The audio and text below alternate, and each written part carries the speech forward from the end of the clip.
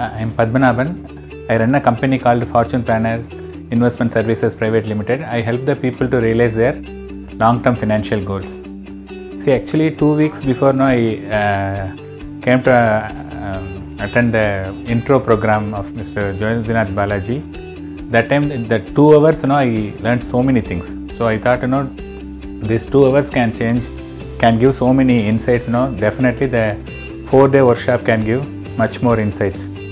So uh, all the four four full working days, we learned so many things. See, as a business owner, I most of the things I will not do it because you know I want to know. See, when I want to extract work from people, at least I should know what I should ask for.